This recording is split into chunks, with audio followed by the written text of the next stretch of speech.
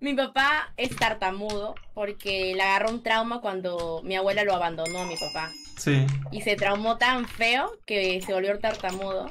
ya, Y en clase, él, mi papá quiso- siempre quiso ser abogado, ¿ya?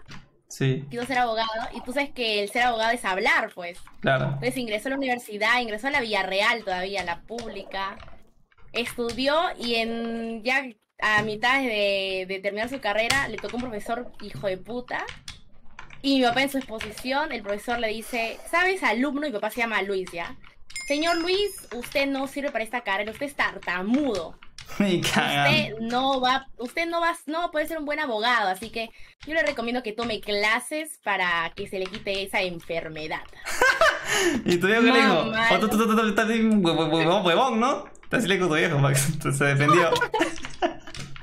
Hay que defenderse también.